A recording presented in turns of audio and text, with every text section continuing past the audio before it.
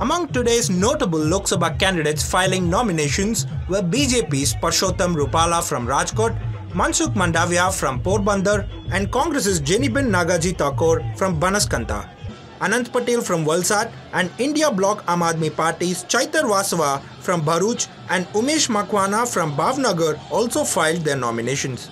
Union Home Minister Amit Shah will file his Lok Sabha nomination from Gandhinagar on April 19th. Rupala was accompanied by senior BJP leaders from Rajkot and former Chief Minister Vijay Rupani as he submitted his nomination amidst a rally. His nomination was met with significant protests from the Rajput community across the state, criticizing his previous remarks about women from their community.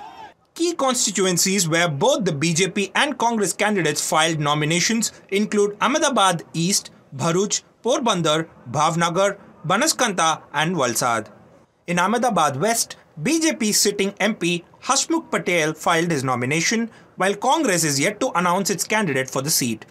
Previously, Congress had named Gujarat Pradesh Congress Committee Media Cell President Rohan Gupta as its candidate, but he withdrew, resigned from Congress, and joined BJP. The Congress has also not declared a candidate for Mehsana, which is a stronghold of the BJP. The deadline for filing nominations is April 19th, and Gujarat is set to go to polls on May 7th.